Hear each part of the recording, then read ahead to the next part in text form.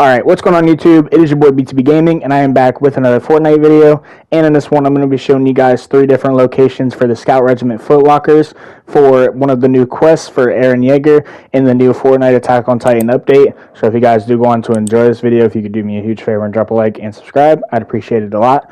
But let's go ahead and get straight into the video. So this first one here is to the west of um, Slappy Shores, and it's at this guard tower here.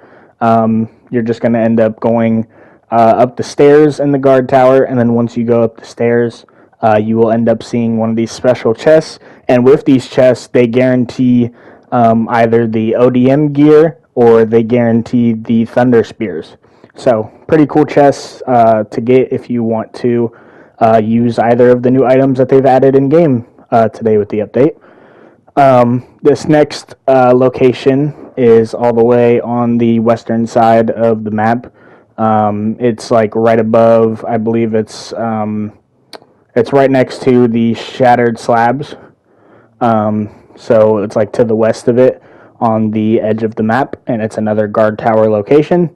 Um, if you come there and you go ahead and uh, go up some stairs again in this building, um, you will eventually uh, see the um, Scout Regiment Footlocker uh, chest, which, like I said, does guarantee um, either the ODM gear or the spears.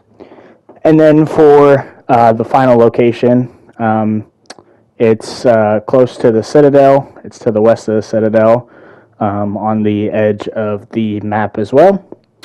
Um, so you're just going to want to come there and after another couple sets of stairs, as you guys can notice a pattern, um, once you go up a couple sets of stairs, uh, you will then be able to go ahead and get the uh, chest with the ODM gear or the Thunder Spears.